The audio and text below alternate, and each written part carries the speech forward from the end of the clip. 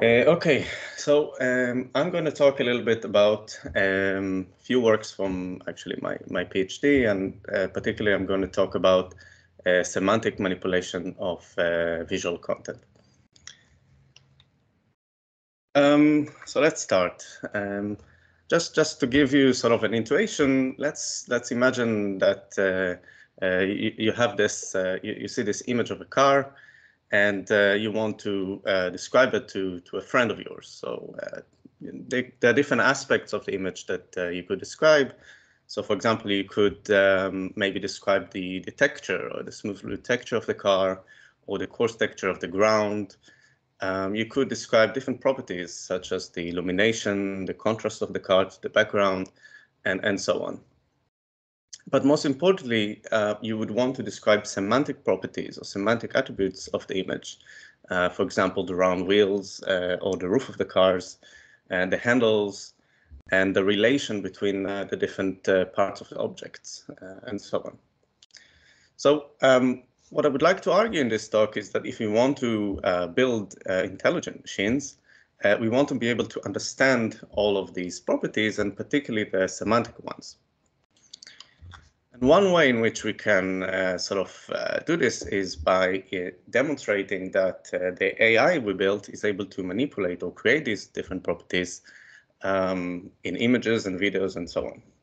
And so uh, there's a famous quote by uh, Richard Feynman, what I cannot create, I do not understand. So the ability to create, manipulate is tightly related to understanding. Okay, so people began looking at uh, ways of manipulating these uh, different properties. So, for example, uh, in the context of uh, texture transfer, uh, these are some of the very early works from the 2000s. Uh, um, methods such as the one by Efros et al. called um, image quilting were proposed, whereby we stitch together small patches of an existing image and were thus able to transfer the texture of an image uh, to some content image. Um, sort of later works emerge and, and one of the, in, in the context, for example, of uh, style transfer, uh, where one is given a content image and we want to transfer, transfer the style of uh, some reference image.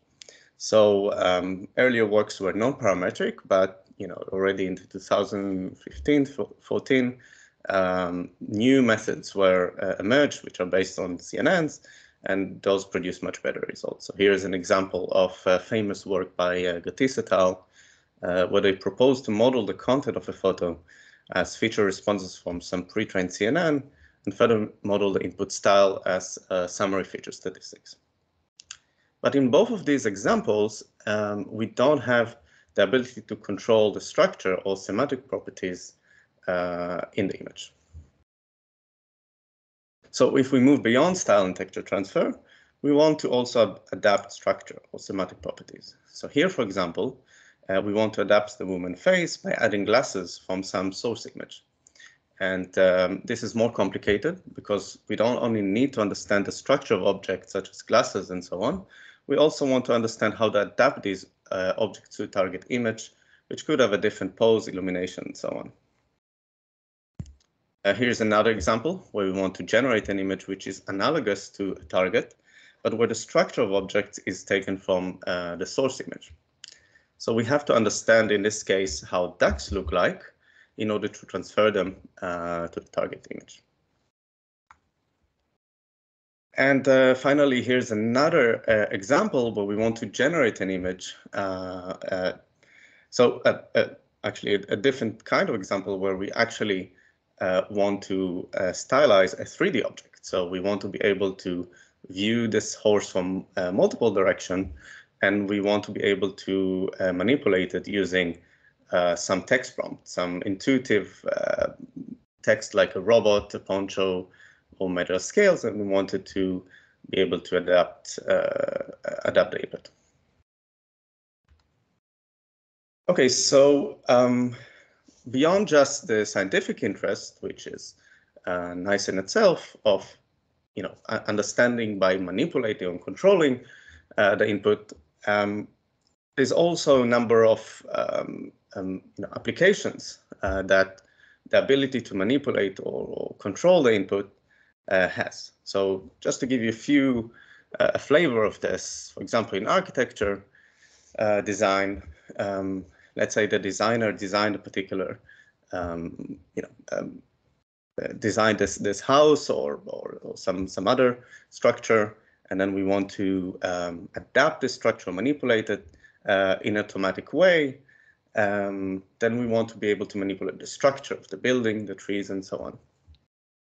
Uh, if we look at video games, we, went, we may want to adapt the scenes uh, and different objects in the scene, such as the bus, the car, and so on. Movies, again, um, more realistic sort of uh, effects and so on, and ability to change uh, to change the scene.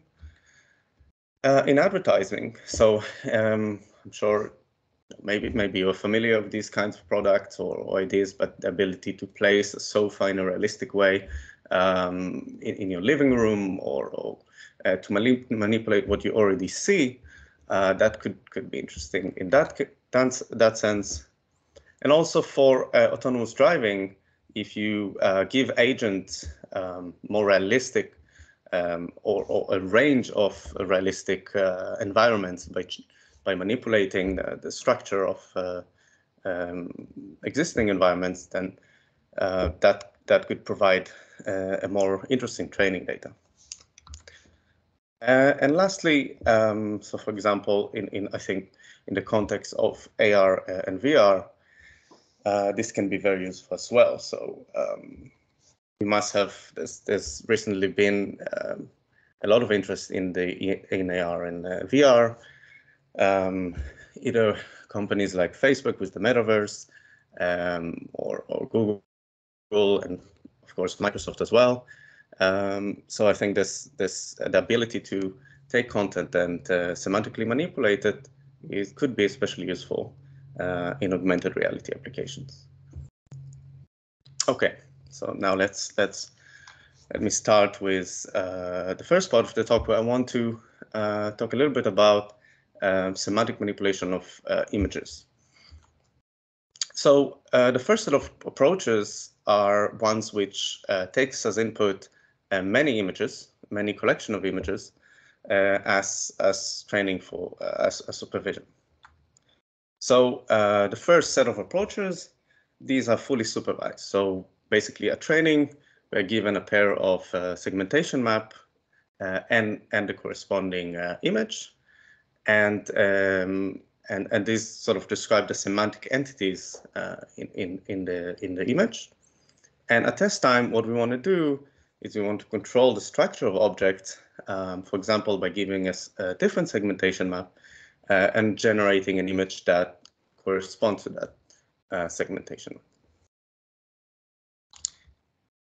the supervised setting is is very expensive. You you require uh, this this annotation of uh, these segmentation masks. Um, for so um, we began looking at sort of unsupervised setting, and in the unsupervised setting, um, we have the input is basically two unpaired sets of images, A and B.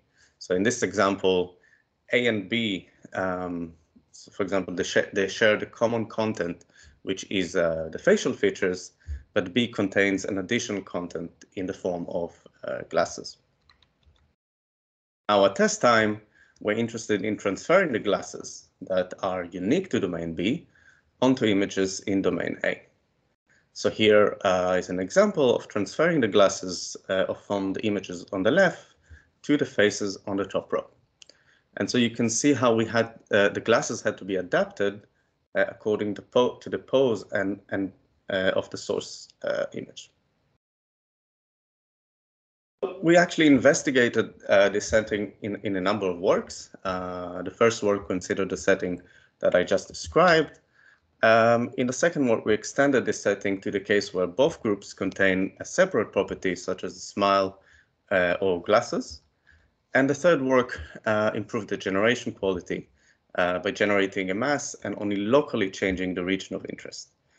Um, but all of these approaches require a large collection of images uh, from both domains. So actually, I want to uh, discuss uh, um, an approach that really require just two images uh, at training. And this uh, type of approach is called uh, a, patch-based approach. So traditionally, when we want to model the distribution of images, um, then we may train a model such as a GAN or a variational autoencoder. And what we do is we would collect a, a, large group of images and then model their distribution. So here is an example from uh, now already old, I should say. There's there's been like tremendous progress here. Um, StyleGAN, and I think now there's all, all, even, much better, even better uh, GANs out there. Um, but what what I want to propose here instead is, and instead what we can do is we can take a single image and consider the distribution of patches of that image at different scales. So maybe we consider this patch, this patch, this patch, or uh, smaller patches uh, in the image. So how can we use this um, to semantically manipulate an image? So um, the first work I want to show in that regard is that of structural analogy. And at training, we're given uh, a pair of images, uh, like this, these two pair of images. And we're interested in producing images that are analogous to uh, the source, some source image, but depict the structure from uh, another image. Okay, so in this example, we uh, we want to take, produce image which is analogous to the dog footprints, but depicts the structure from the uh, snow steps image. So to illustrate this, uh, let's take this source image of balls and target image of marbles. What we want to do is we want to generate an image that follows the spatial distribution or the structure of the balls, and second, depicts the internal patch statistics of the marbles. So we can see that the generated marbles, they look realistic and they are of the correct shape, um, but follow the spatial distribution of the balls. And we can do this also in the reverse direction and in other examples. So here is the example I've shown earlier with the uh, ducks and orcas, or translating between uh, pumpkins and balloons, and so on and so forth. You may ask, well, is this similar to style transfer? Um, it is, but both, um, well, both of these, um, you know, both style transfer and deep image analogy uh, operate on uh, pair of images. Uh, unlike our method, they can, uh, neither of these methods can change the shape of objects. Uh, so notice, for example, how in style transfer, the shape of the building and the shape uh, of the face remains intact.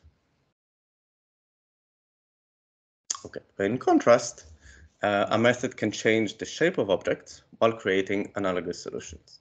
So let's let's take this example, given an image A of snow steps, an image B of dog footprints.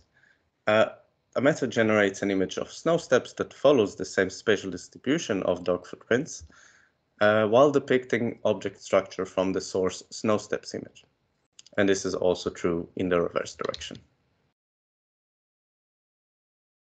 So let me give you the, the intuition or the motivation to this. The key idea is to produce a mapping between the multi-scale patch distribution of A and that of B. So at core scale, uh, this means that the spatial alignment of the dog foots must resemble that of the snow steps. At a finer scale, uh, if we have a patch that contains two footprints next to each other, this must be mapped to uh, two snow steps beside each other and at even a finer scale, uh, the upper part of the foot uh, step is mapped to a small snow step, and similarly the bottom part. While we produce these uh, mapping, we still have, uh, you can see, still see how the snow steps still remain human-like and not dog-like. Okay, so let's dive a bit deeper of how we realize this, uh, this mapping. Um, basically, our approach contains of a hierarchical structure. The hierarchy starts at the courses level zero, where we consider large patches in the image, and we move up to uh, up to level n, where we consider finer, smaller patches. And the hierarchy operates both in an unconditional and conditional setting. Okay, so we start, we begin by unconditionally generating random samples from the same patch distribution of A, in this case, the, the, the pumpkin image. So um, at we, we begin with, at the first level zero, we begin with some uh, random noise uh, Z0 as input. Uh, we have some generated GA that takes this noise and outputs this low resolution image of a pumpkin. And how do we assess that this image is real? Well, we have this uh, discriminator DA, and this is a patch discriminator, so it considers the image realistic if its patches are realistic. Um, also, GA is uh, fully convolutional and it has a fixed receptive field. So it only manipulates patches uh, in uh, of the output. Right, so after the level zero, when we move to a higher level n, the generated GA gets as input the low resolution uh, image generated at a previous scale and some random noise and outputs a higher uh, resolution image. So again, because GA is fully convolutional and has a fixed receptive field, so it only manipulates patches in the input low resolution image. And um, as, as in the previous scales, we use a patch, uh, patch discriminator, which considers the image realistic if the patches of the image are realistic. Okay, so once we generated this pumpkin image in the unconditional um, uh, using the unconditional generation, uh, we move to the conditional part where um, we pass the pumpkin, the generated pumpkin image through uh, B's generator GB to generate uh, an image of balls. And again, we use a patch discriminator DB to generate realistic uh, patches of balls. And uh, after that, we pass the generated uh, image of ball back through uh, GA, the generator of uh, pumpkins. And we use a cycle loss between the generated image and the input pumpkin image. So that, that ensures we have an alignment between the two images. But more precisely, because GA and GB have a fixed receptive field, what this in fact results in is a matching between the patches of the image. So uh, we may have uh, a matching between this patch of a pumpkin and this patch of uh, uh, these two uh, balloons. And also at a smaller scale, we have this, this matching. So this is the, the matching that I, I talked about earlier. Um, okay, so there's many different tricks that we used, but just to mention one interesting one, in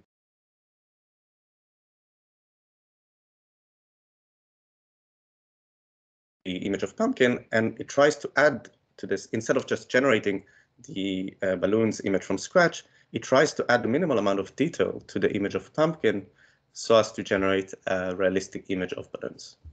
And this prevents the network from uh, cheating, creating non-analogous uh, solutions.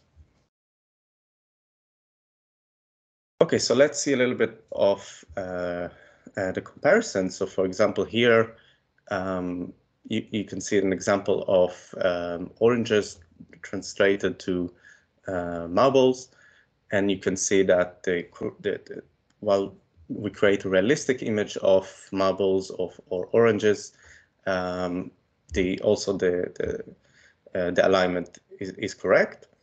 And if we use style transfer or other uh, similar methods, then uh, either image is unrealistic or produce blurry uh, blurry results.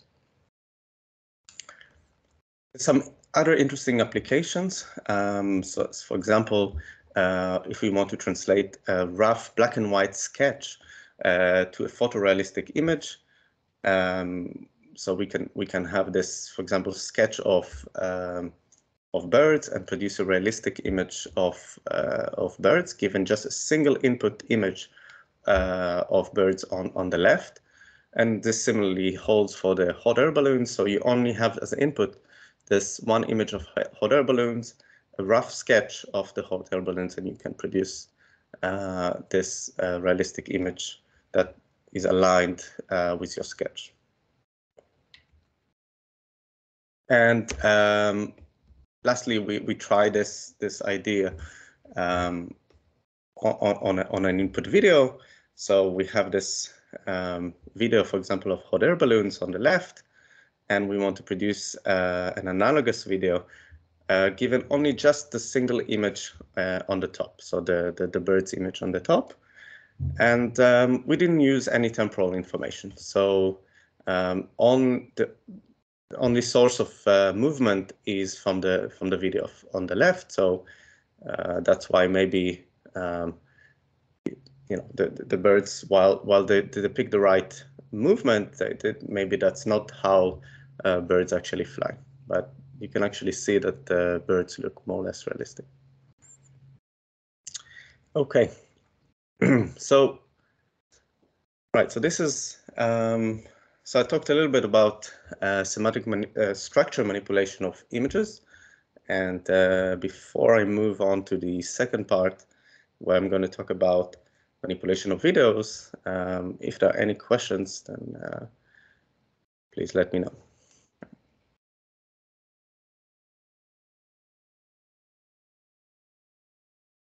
Okay, cool.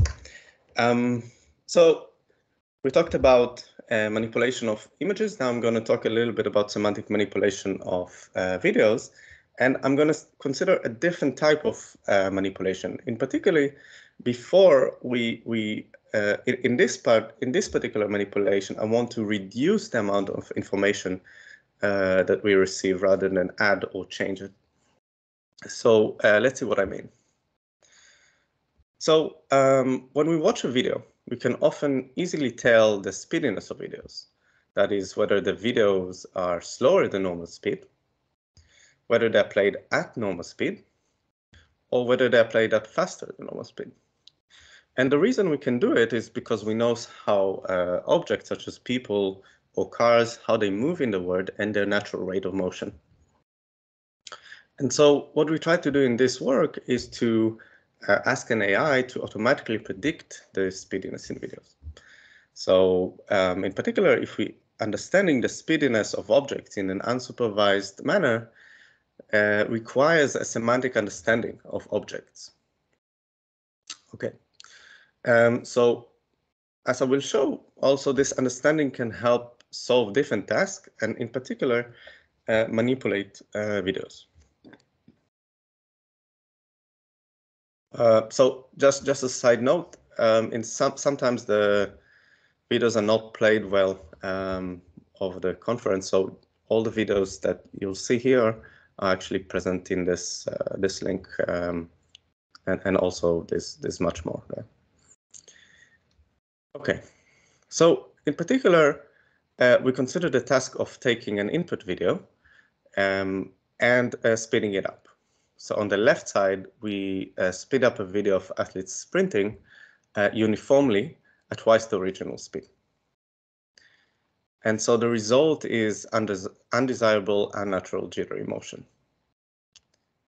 And in contrast, um, our method can be used to adaptively uh, change the speed rate based on the video content. So here you can see the same video using a method based on speediness prediction. It has the same total duration as the previously uniformly sped up one, um, but it is much more natural looking.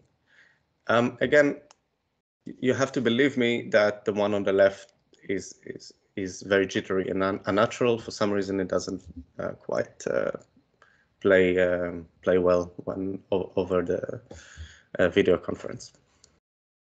Okay, so in addition to adaptively speed up, speeding up videos, uh, predicting the speediness gives rise to other applications such as supervised action recognition, as well as video retrieval. Okay, so how is this done? Well, we trained a network called SpeedNet to classify whether a given video is of uh, normal speed or whether it is sped up. And um, our training uh, we train our network on short videos of uh, 30 clips, and this is done in a self-supervised manner with no manual limitations. So for normal speed videos, we played videos at their normal speed rate, and for the sped up ones, we applied a uniformly sped up uh, speed up. Um, okay, so let's look a little bit more closely at our, our architecture. Um, we begin with the input frames, which may be of normal speed or sped up. Okay. Uh, we then pass them through a 3D uh, based convolutional network, and this is similar to uh, S3DG network or uh, an action recognition kind of network, um, which produces these spatial temporal feature maps. We then apply uh, pooling.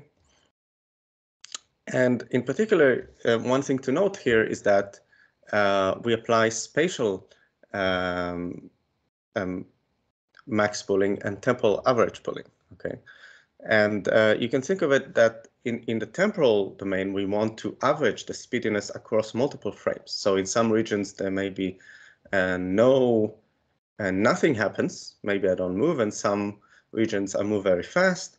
But on average, uh, the speediness over many frames would be um, um, would be the normal speed rate of, of a person moving.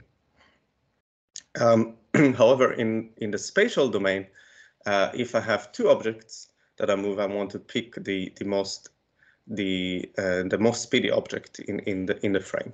So that's why I do spatial max pooling and temporal average pooling. And finally, we uh, after we do this pooling, we, we, we generate our uh, prediction, which is a normal speed or sped up.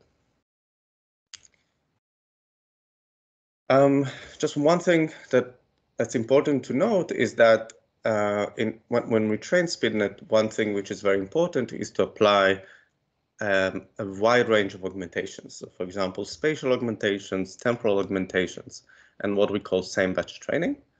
So when we say spatial augmentation, that means we take the input frames and we simply uh, do some random resize, both downsample and upsample. And that means that the network cannot no longer rely on size-dependent factors such as uh, uh, motion magnitude.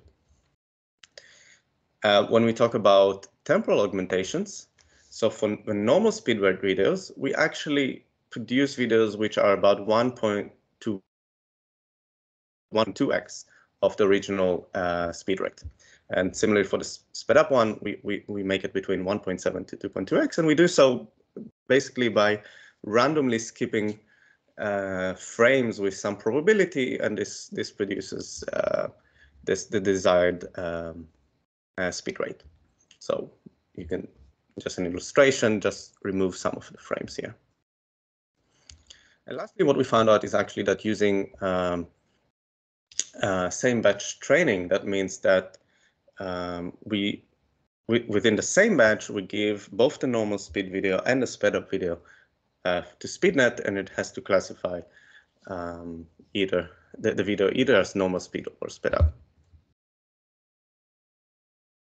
Okay, um, so now what? So so once we train SpeedNet at at inference time, uh, given a video clip, we run our model in a sliding window fashion. So uh, like like this, and this produces um, the, the, this speed up curve where it tells us the regions which SpeedNet thinks are sped up and regions which are not.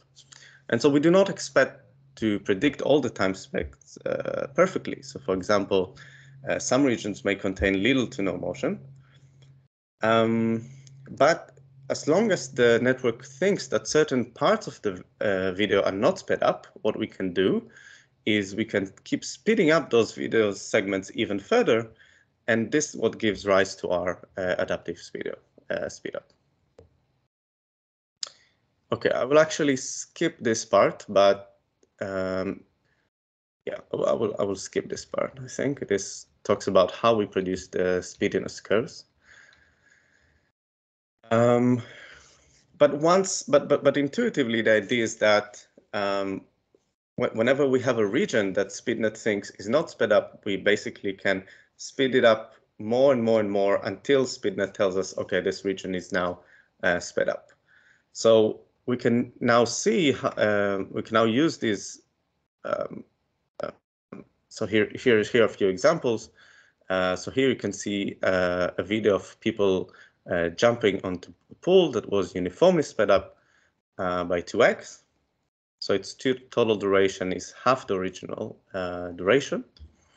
And on the right, we use the adaptive speed up. So each segment of the video was sped up as long as SpeedNet determined the segment uh, to be of normal speed.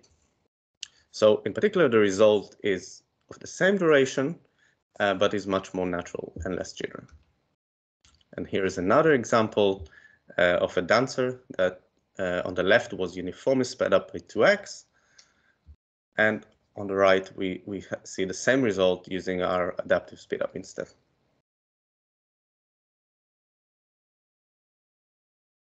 And we did this for many videos, and you you can see all of them in the um, in the link that I shared.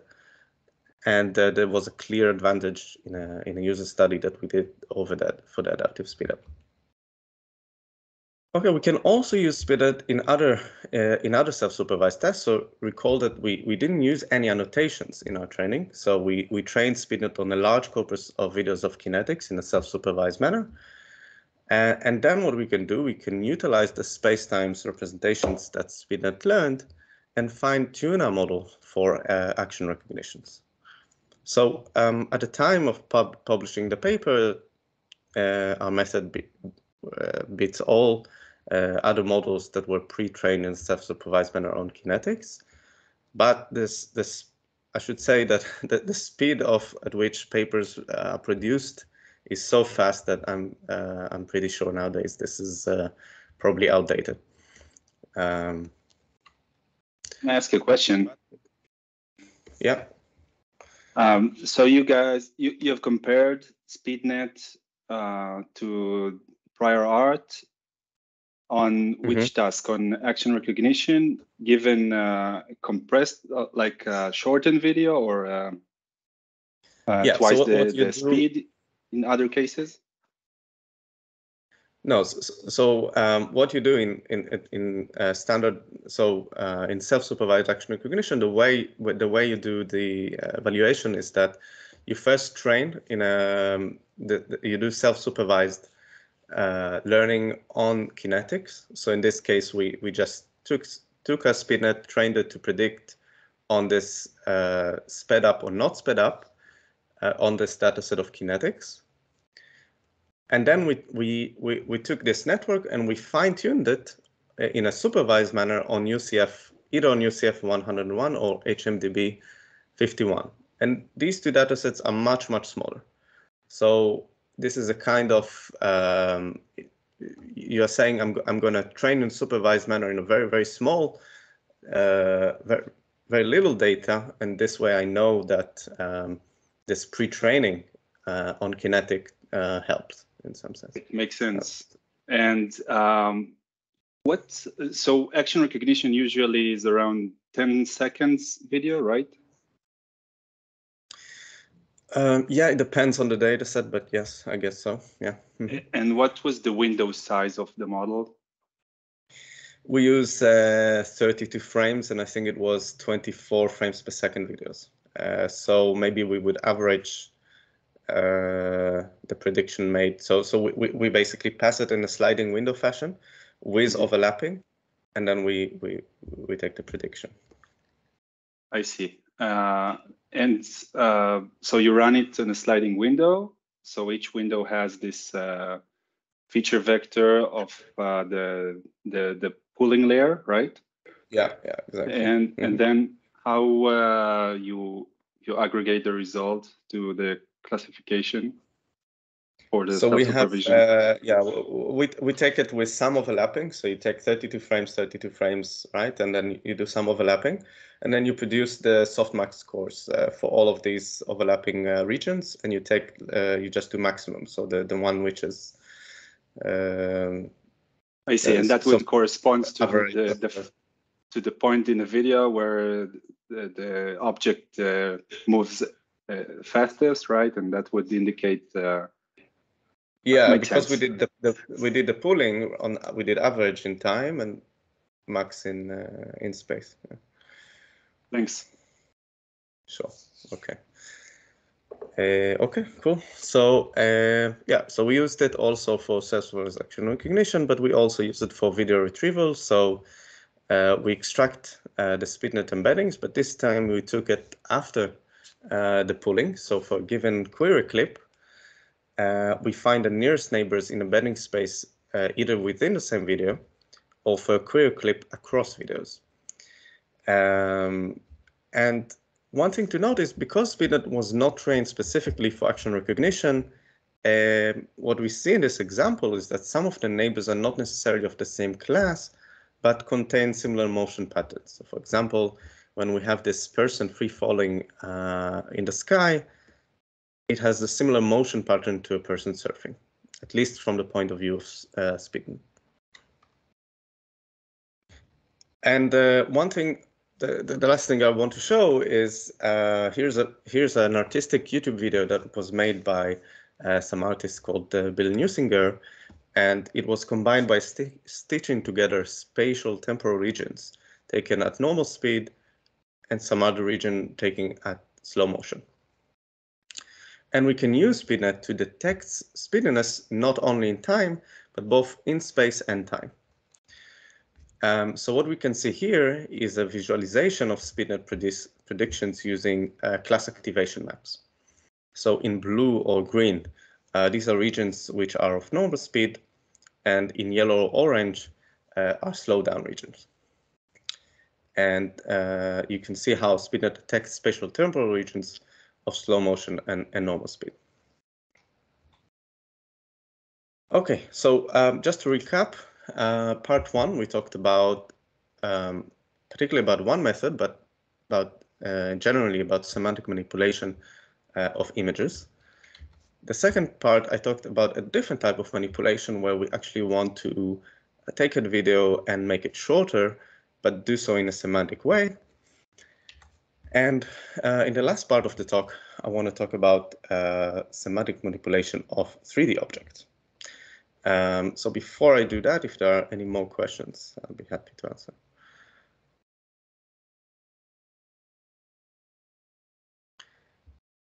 right. Okay, so um, this is actually um, a work by from CVPR, the very recent CVPR. So now uh, it will be shown in, uh, in in June, and it's called Text to Mesh, uh, text-driven stylization for for meshes.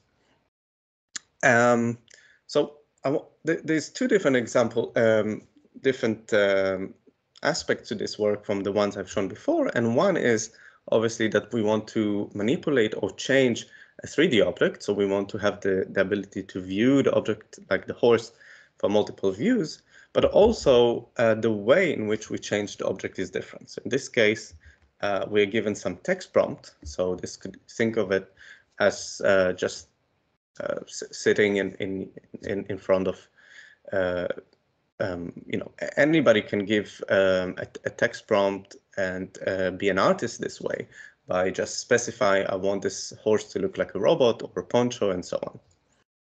So both the type of the, the way in which we manipulate the object uh, and uh, the type of object is, is different in this case. So just to show a few examples, uh, the our 3D manipulation should be uh, aware of the global semantics. So in this example here, uh, you can see how we um, stylize uh, an example of Iron Man, and you can see how the, we are aware of all the, um, we consider both muscles, clothing, material, and different textures.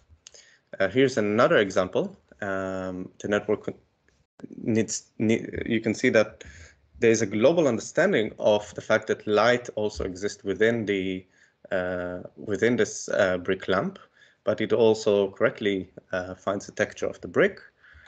Um, here's another example of a colorful crochet candle and uh, an astronaut horse. And nice, nice example here is that, you know, um, our network never saw an example of an astronaut uh, horse, and it was able to imagine how such an astronaut uh, horse would look like.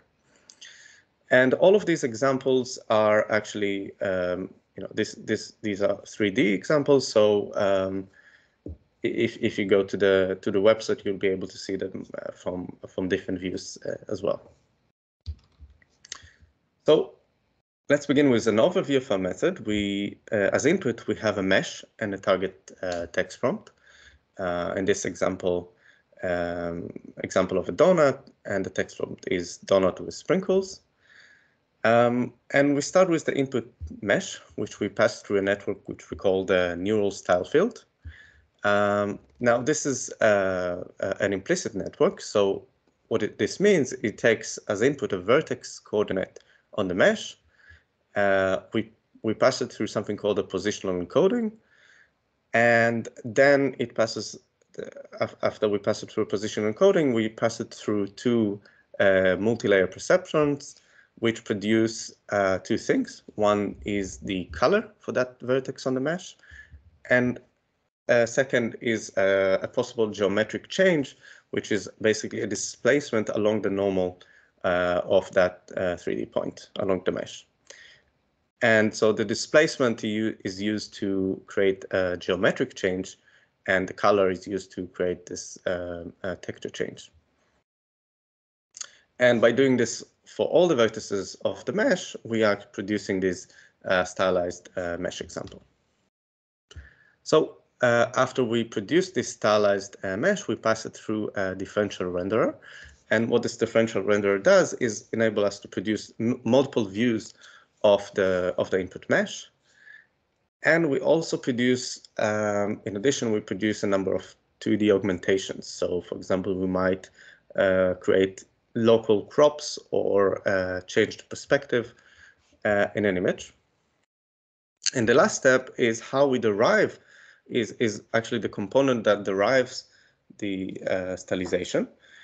And uh, we basically take all these 2D augmented uh, views of the image and uh, we pass it through um, um, um a semantic loss, basically, called um, a, multimodal semantic uh, embedding space of uh, CLIP.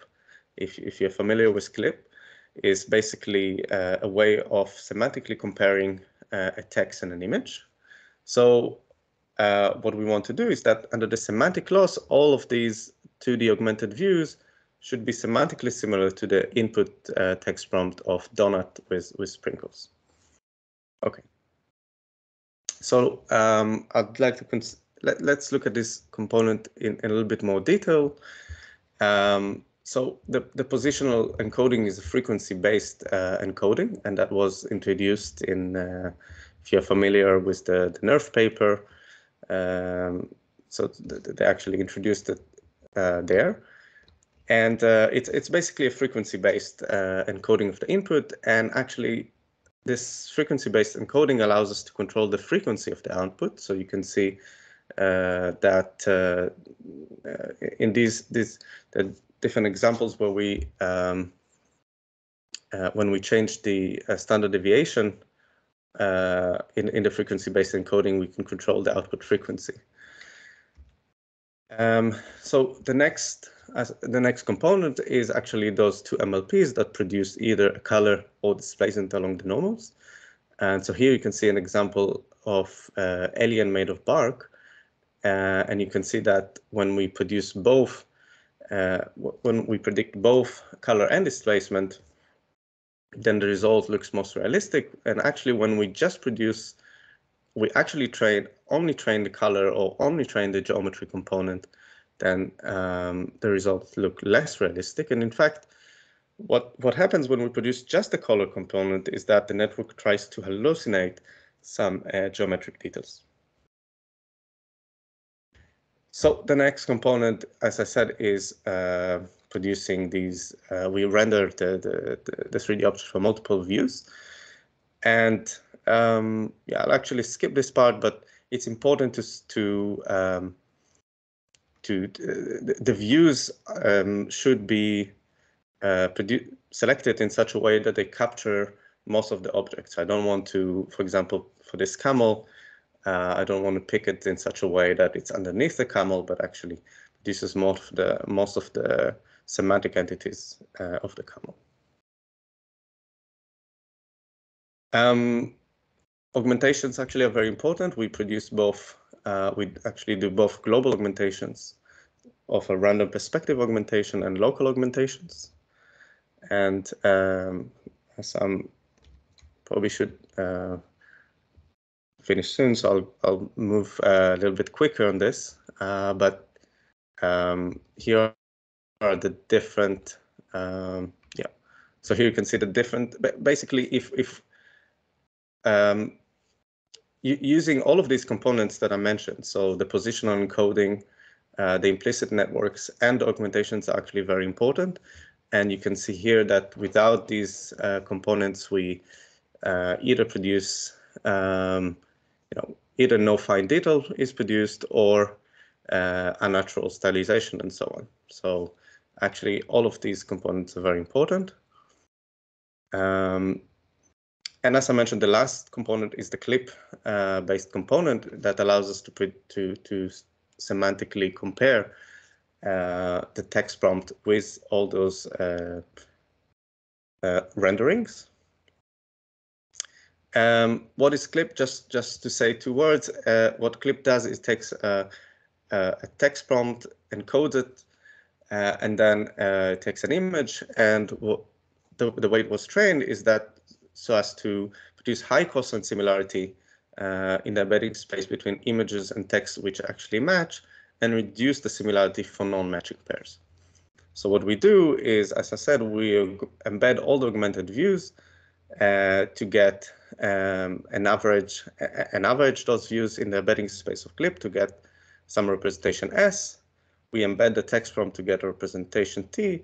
And then what we want to do is we maximize the cosine similarity between S and T. And this what is what drives our um, uh, the gradient flow onto the uh, our implicit uh, style network.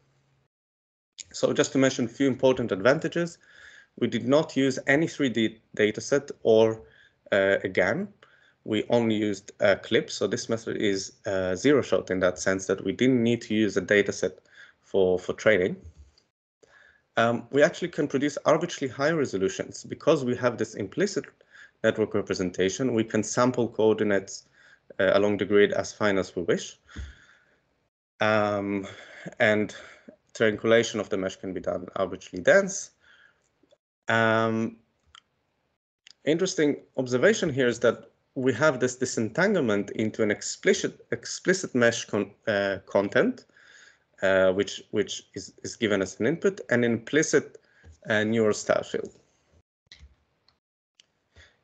Um, and because the network was trained in a zero-shot way, we can the network was, works very well on uh, in the wild meshes with arbitrary styles and also out of domain uh, stylization. So here you can see examples for um, this this this shoe uh, that we, we can produce different uh, stylizations.